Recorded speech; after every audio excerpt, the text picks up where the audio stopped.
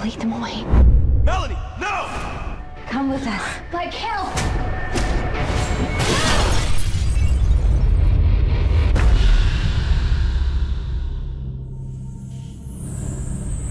Welcome. What shall I call you? Call me Wanderer.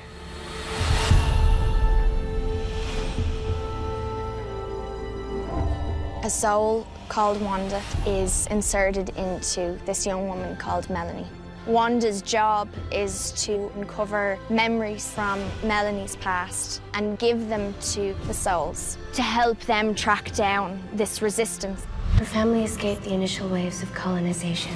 Melanie has been on the run ever since. Usually, when a soul is inserted into a body, the human kind of vanishes. But Melanie is very strong and she does not disappear.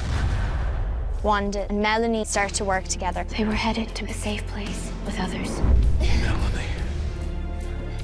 Hold it, Kyle. One of them is also my niece. Was. And Wanda, she gets closer to these people. You want to take a walk? I was really excited about the idea of actually getting to play two characters in the one film. It's the actor's dream, really, to do that. Saoirse can bring that peaceful soul side so well, and yet she's all action and so tough. You watch her, and it's like, wow, she can do anything. And we really needed an actress who can do these two characters and sell them both. She's really amazing.